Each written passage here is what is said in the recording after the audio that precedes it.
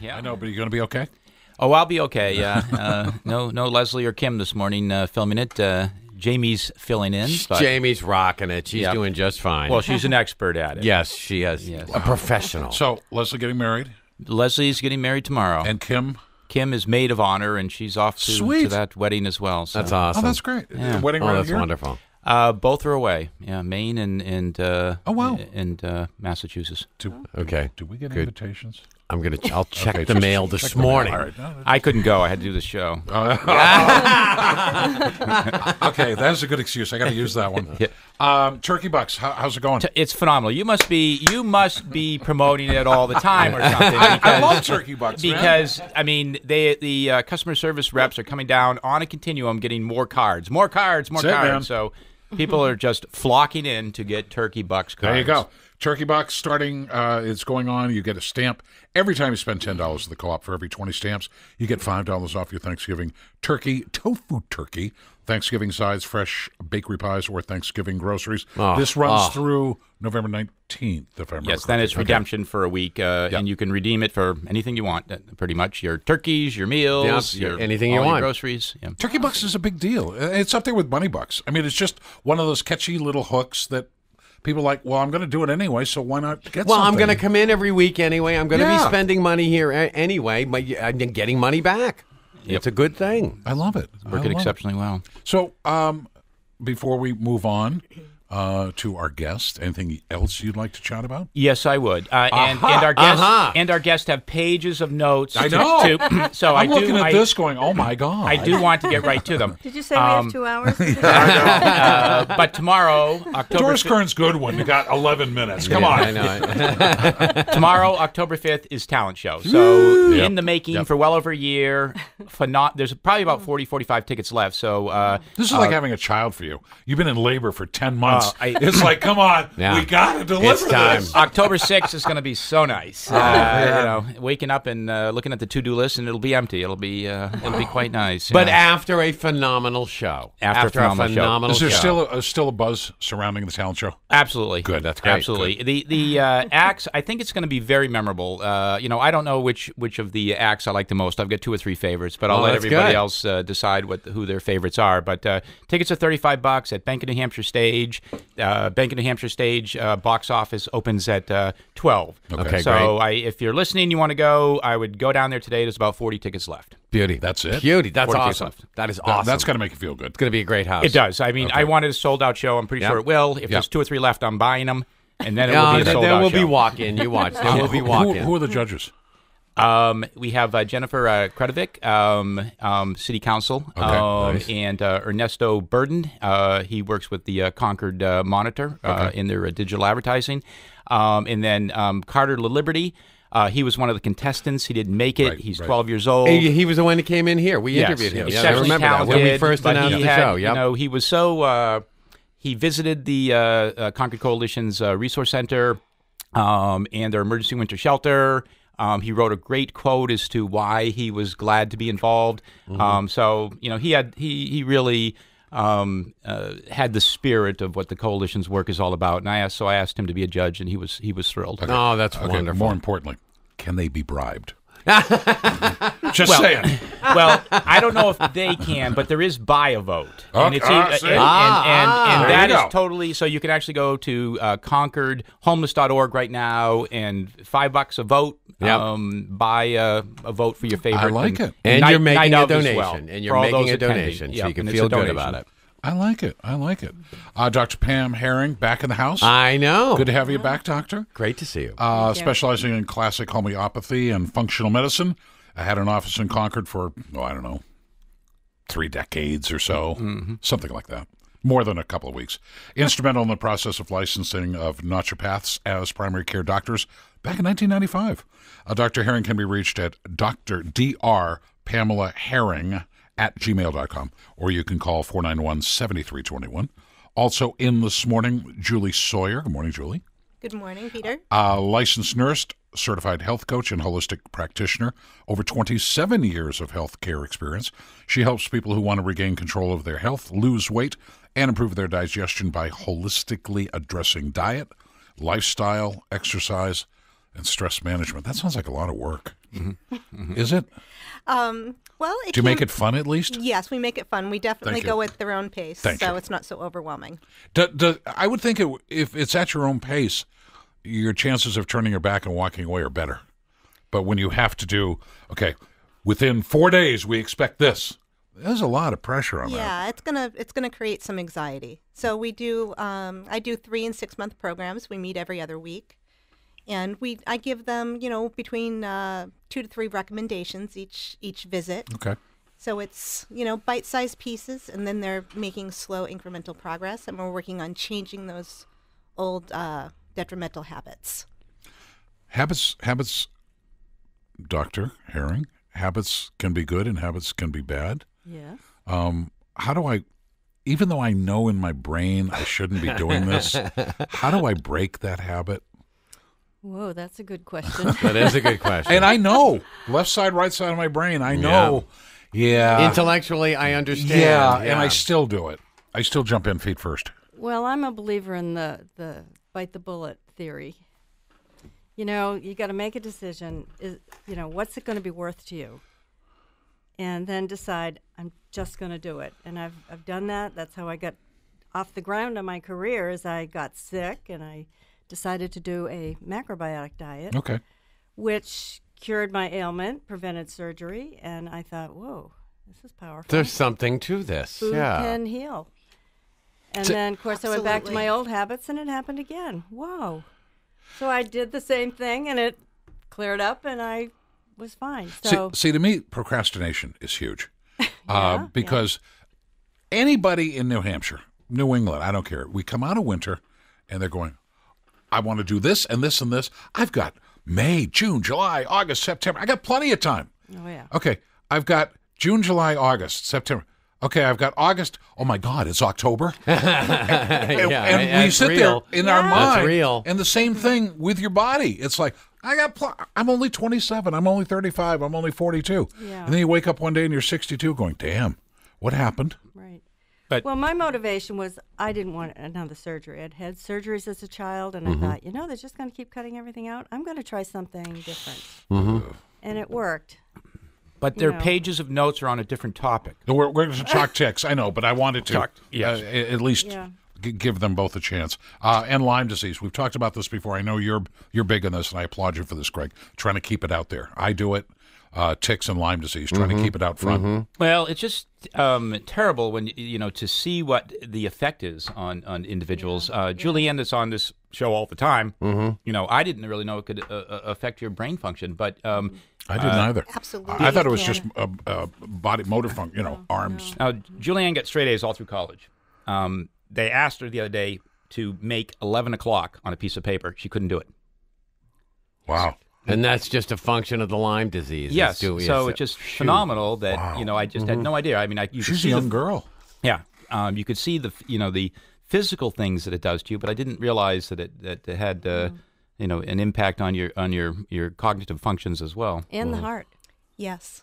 And the And heart. the heart, yes. Yeah, as a cardiac nurse, um, you know, I've had patients in the hospital who have come in with complete heart block.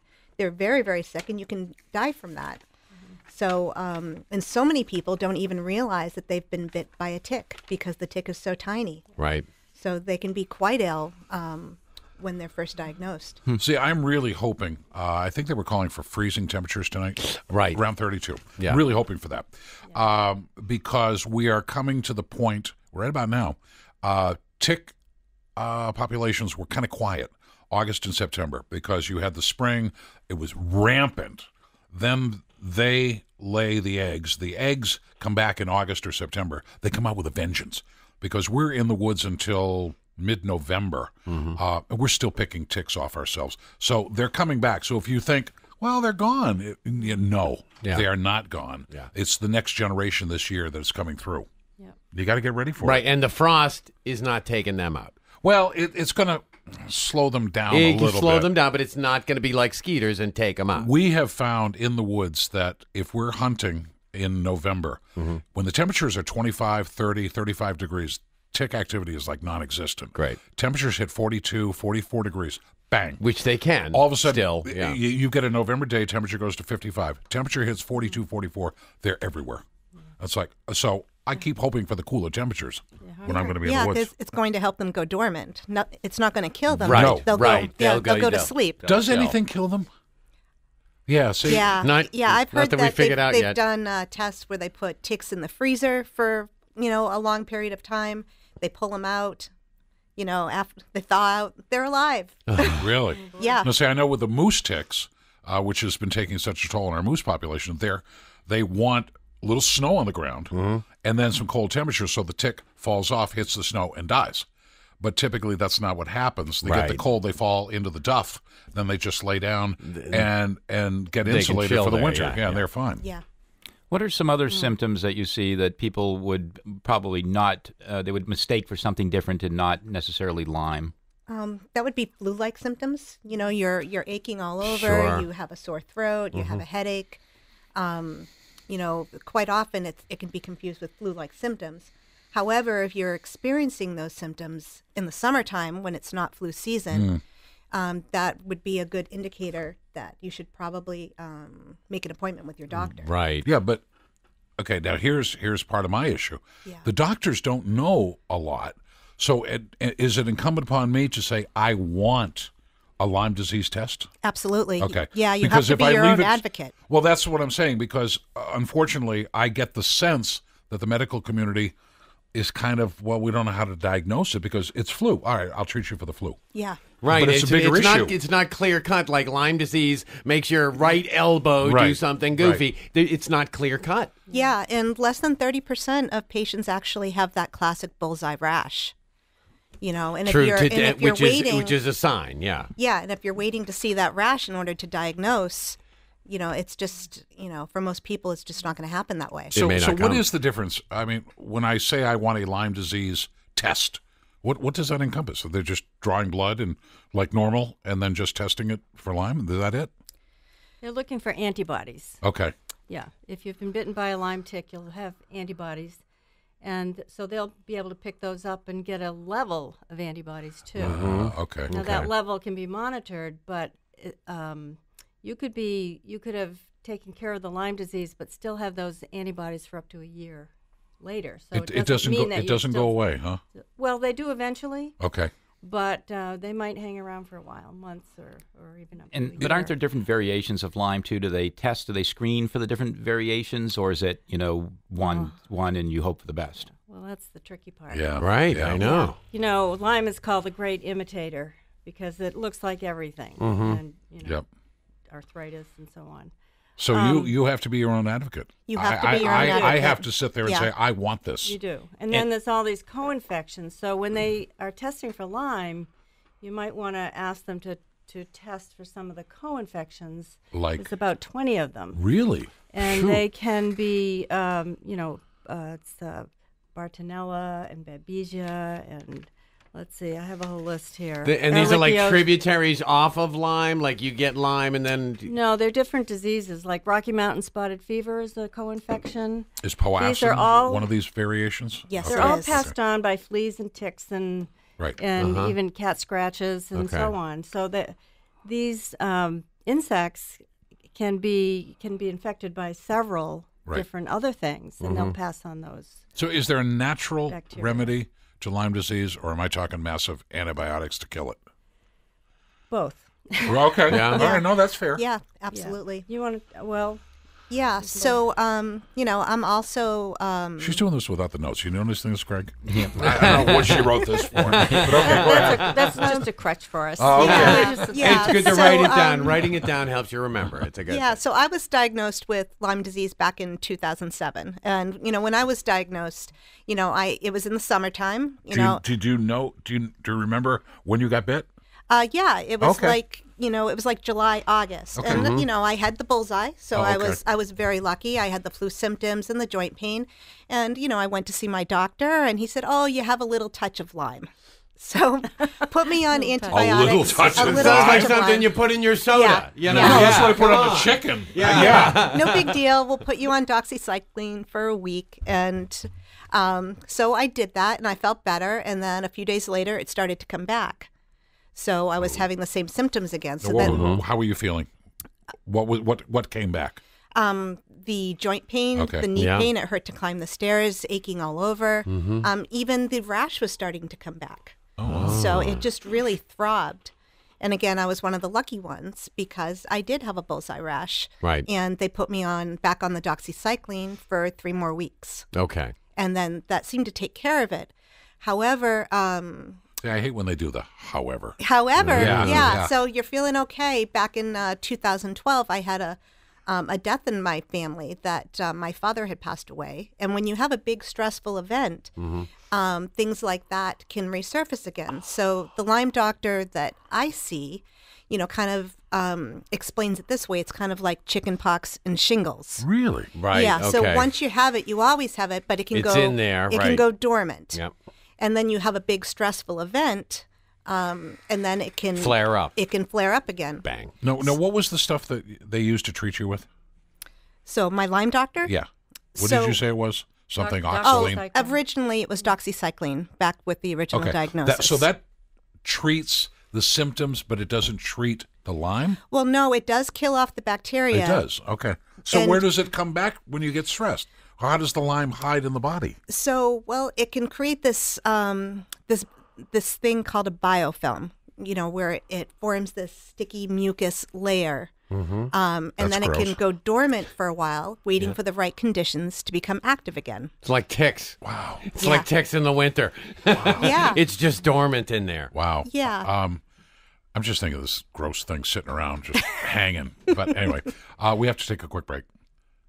Yes, why, we why are you do. looking at me? We have to take a break I'm I'm all because I'm going to talk to Greg about turkey bucks. All right. So No, we're talking about Lyme. Turkey today. bucks. I'm Turkey not. bucks, I'm not bucks. punching your turkey bucks card Oh, unless you man. purchase it. man, you're so hard. We'll take a break. Thank God you're not a judge at the talent show. Uh, we'll take a break. Back with more right after this.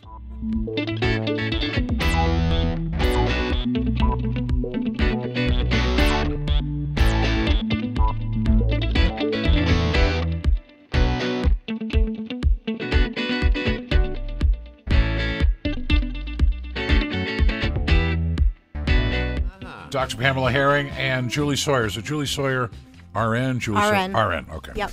Um, uh, in with us talking uh, Lyme and tick. Now, um, in the time we have left, uh, Julie, you said you changed your like whole being Yes. because of this.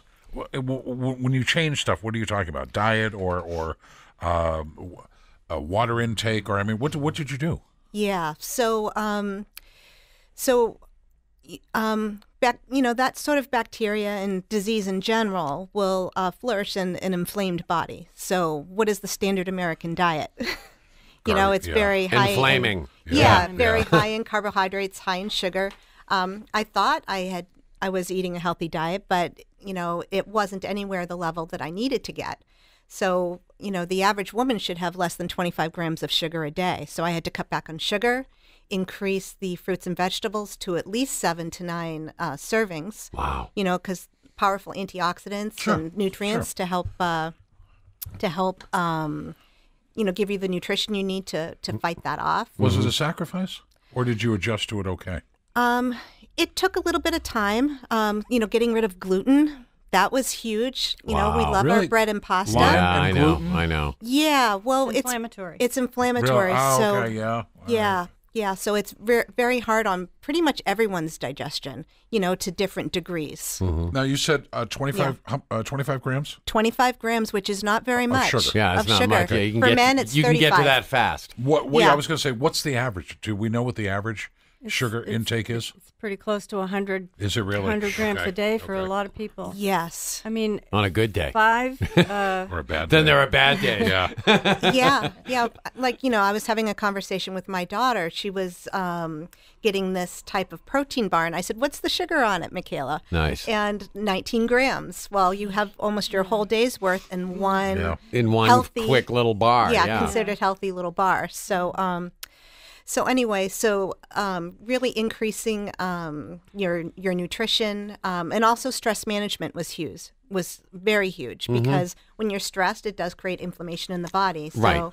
meditation, yoga, and really um, looking at your life and putting things into perspective. Do I need to uh, vacuum my house? Can I live with those um, dust bunnies in the corner? Yeah. Um, yeah, you can. Can I live with you? That's so cool. Thank Yeah, you. I know. Yeah, yeah, yeah, Yeah. God, I need a little bit of that. Yeah. Yeah. Is, is anyone housework. immune to Lyme? Is, is you know does, Ooh. does, does Lyme affect Good everyone? question. Well, it's it. That is a very good question. Um, we don't know the answer to that. I mean, the ticks are very tiny. Um, not everyone gets seems to get these Well, not symptoms. every tick has Lyme disease either. Yes. Right. So, Yeah. Right. Yeah, so it's this like you true. winning the lottery. I mean, if Yeah. you had the right diet, you were saying diet had a great degree of of controlling it, or um, you know, reducing it, eliminating it. But um, but if what if you had the right diet to begin with? Are you less susceptible to getting Lyme? Oh, good. Yeah, that's a good yeah, question. that is a very good question. You know, that's Look at it. un- I know. that's unknown at this time. um, but it, I would think it would certainly. I mean, what do you think, Dr. Herring? Decrease your chances of having that inflammatory response? Uh, I think it would decrease. It, it would be a milder response, perhaps, or more easily controlled. You know, with um, the treatments.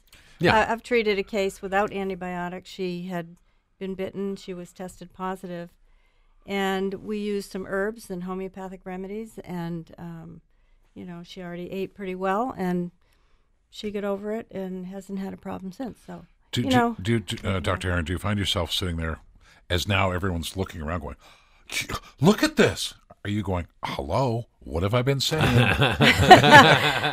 feel like they're finally ca- catching up to the They're messenger? beginning to get it. I mean, really, you're seeing on the cover of Time and Newsweek and everything, vegetables, vegetables, Yeah, prevent yeah. cancer with vegetables. Yeah. It's it's really the key. And and mm-hmm. you know, you know, organic is going to be a little more nutritious mm-hmm. oftentimes than our conventional. The soil is cared for a little more and so on. So Yeah. And all of that is important. it's all important. Yeah. Man, Exercise, key. I, see, uh, the vegetables is not a hard sell for me. I don't know No, it's why. not. You're a vegetable guy. Yeah, I love I love my veggies, man. And I don't know why people are so reticent about doing it.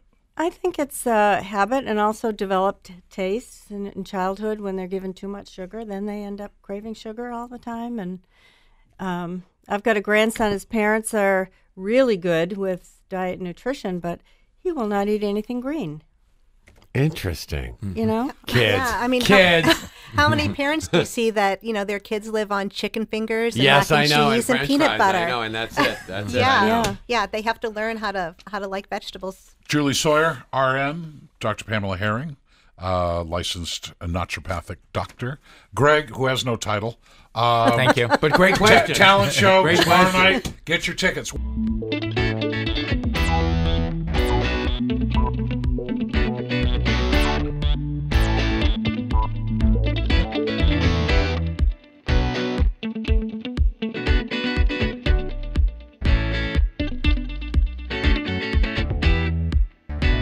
If you're in the mood for real food, it's Concord Food Co-op.